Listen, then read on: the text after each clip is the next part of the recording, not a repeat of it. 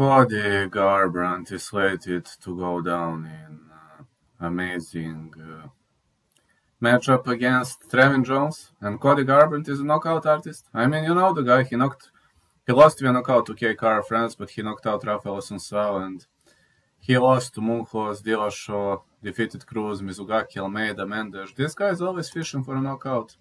Trevin Jones, 5 foot 7, 17 inches of reach. Guamese fighter. And uh, Cody Garbrandt is 5 foot 7, 65.5 inches of reach. Jones gonna have massive reach advantage.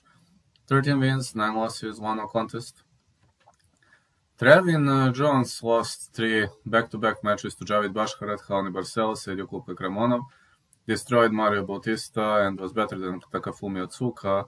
Also, no contest against Timur Valiev. So yeah, he tested positive for marijuana, but that's the way it is, you know. Used to be a catchweight combat performance of the night, and he ruined everything. I think somebody goes down here. These guys are heavy-handed, heavy knockout artists. I'm gonna say the fight will not go the distance. If I must pick a side, well, let's hope this is not the last time we see no love inside the octagon. So, if I must pick a side, Cody to win.